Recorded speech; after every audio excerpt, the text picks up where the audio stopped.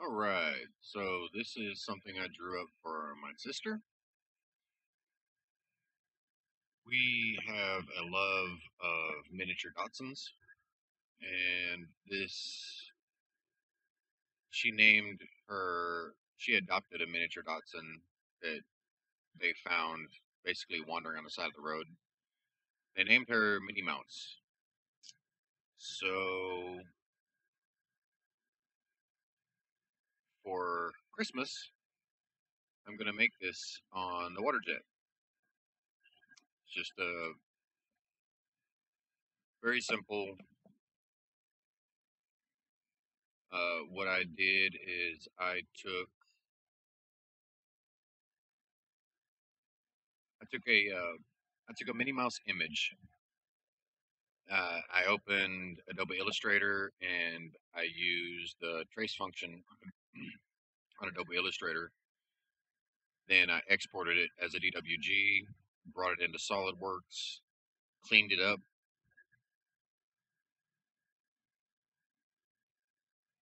Offset these, uh, the inside of the bow. I offset it a little bit so that I could get, uh,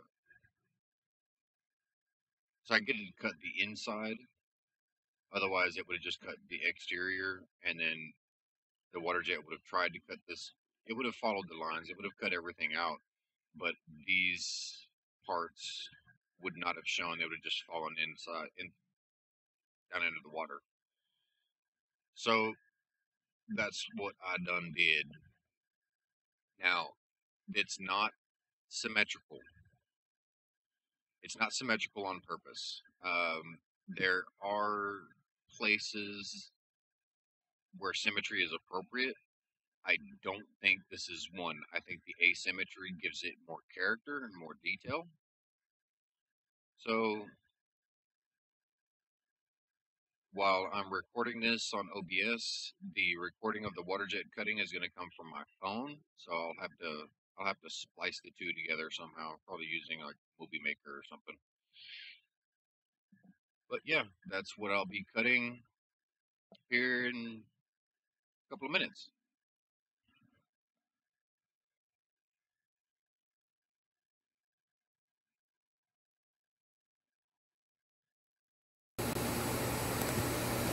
All right, so here's the setup. We've got our water jet positioned at home. The uh, 7S 7XSE intensifier puts out 60,000 psi. I'm only going to be cutting this at about 20 to 25, which means I'm going to be cutting pretty slow.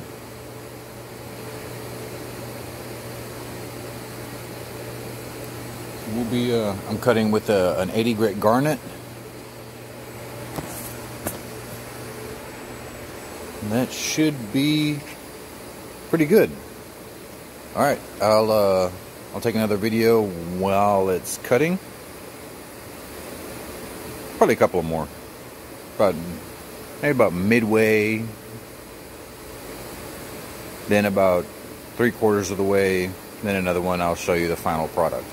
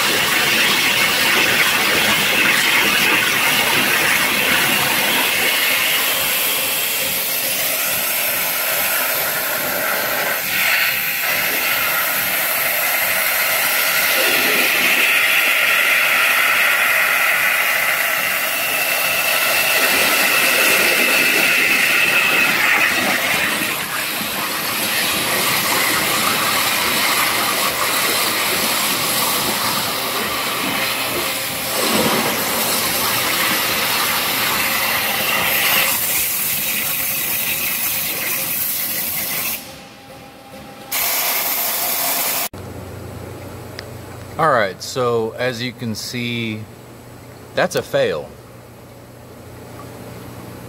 That's a fail because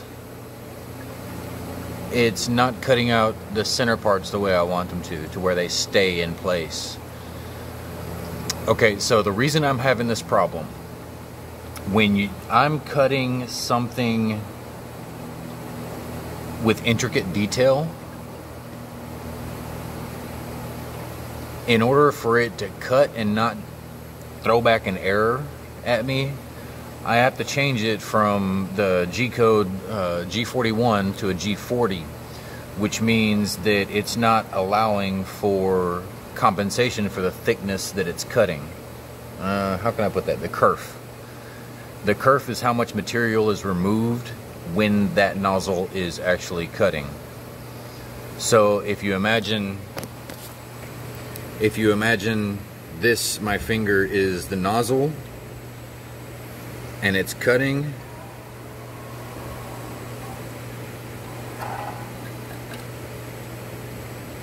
this area that I removed the garnet from that's going to be material lost. Now the G41, what it does is it offsets the nozzle. It offsets the nozzle uh, to where right now it's following dead center the lines. Now, depending on, say, if I have a box right here, if I want it to be precisely the measurement, what I would do is I would basically I'd program it to where the nozzle would follow the outside edge. So instead of it following the line like this and removing this amount of material, what it's going to do is it's going to come out probably about for this for this is probably about 40 thousandths. It's going to come out 40 thousandths of an inch and instead it's going to cut over here so that I get precisely the measurement that I want. It's not doing that because it's every time I do a G41 in something this intricate and small, it throws back a CRC error. So I changed the G41 to a G40, which means it's just going to straight follow the line, follow this inside line. Now, the drawback to that is if you don't set it up, if you don't set up your drawing just right, you have stuff like this happen what's happening is yes, it's following the line, but the thickness between the two lines is so tiny that when it's cutting on this line here, it's actually blowing out the material in between. So I have to make this line thicker so that when it cuts over here, it leaves just just a little bit amount of material here. That's the problem I'm having. That's what I've got to go deal with next on the computer. Me give you another look at this. See, right here, right here should be a strip of material. Right there to there. And it's not leaving anything. So we'll go fix that up and try this again.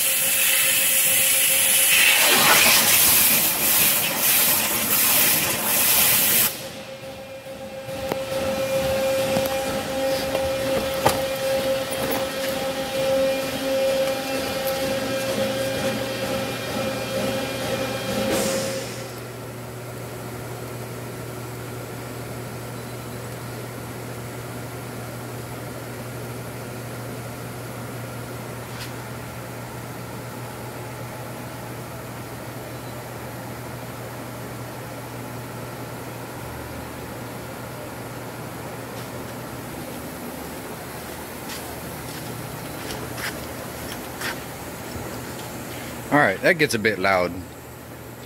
So here we are.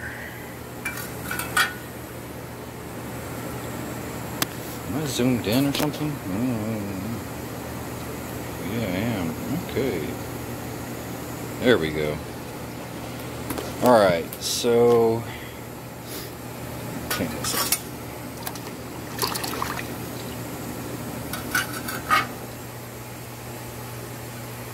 There you go. Now, to give you something to compare,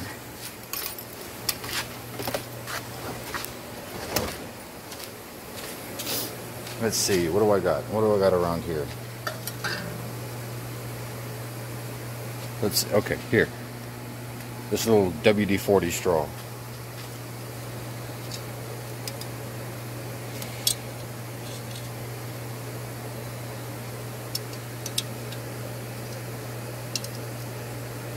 There you go.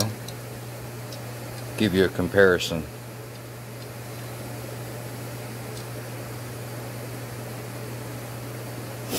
Now, after redrawing this, not really redrawing it, but after modifying it, I left probably about a sixteenth of an inch. That's uh,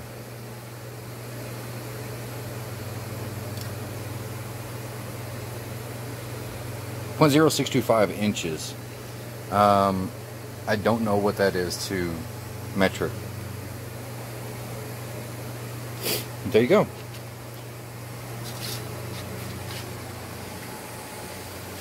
Beautiful.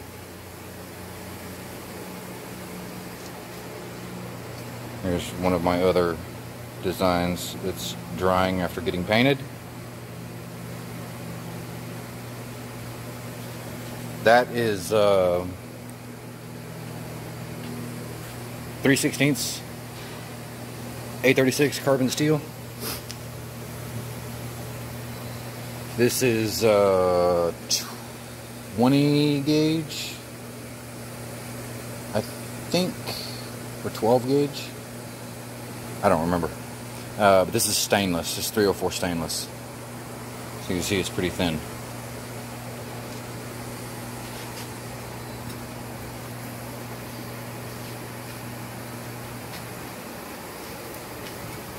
And there you go. That's my uh, Flow Robotics two of a kind.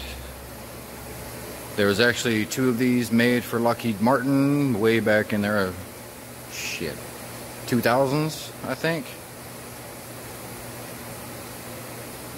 It's a uh, it's a custom build made by Flow International, but their robotics vision had to put it together because they didn't have the capacity. This cuts at uh, 60,000 psi, like I said. The uh, intensifier is designed to hold four intensifiers uh, chained together, but we only have the one. It's too expensive for, for the other three. Uh, that's so that basically if one fails, they have backups. Um, but yeah. Here you go. It's a five-axis water jet. Uh, I'm struggling with the five axis part of it. I don't have uh, I don't have the program, I actually do the five axis. Um, it does move in all five axes. I can show that off here.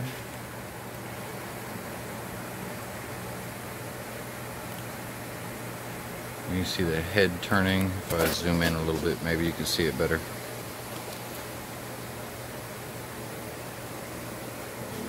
steady the camera up against the computer. See, moving this direction, that direction, then if I change to this,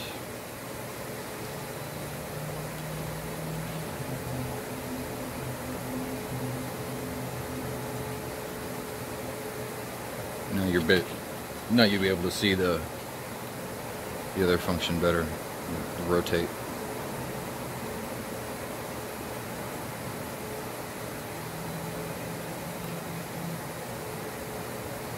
Running a water jet is dangerous work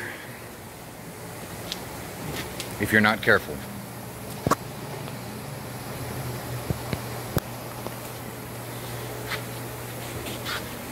The pressure coming out of this little bitty nozzle right here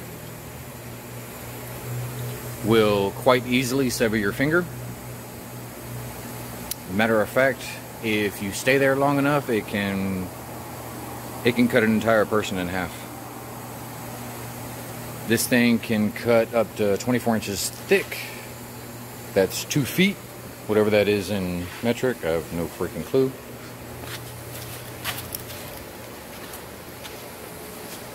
yeah, there you go. My uh, my pet project. Over there on the other side of the water jet, you can see my uh, oxyfuel and plasma. I play around with that sometimes, but it doesn't have the precision that, that, that this does. And that one, I pretty much already know everything there is to know about that one. I can run it like nobody's business. It's this thing that I need practice on. That's why, I, one of the reasons why I'm doing this, so that I can practice on it, get better with it, get to know the machine, and make some cool stuff for my sister and my mom. And yeah, anybody else who wants to pay me. Like this. Yeah, that's good.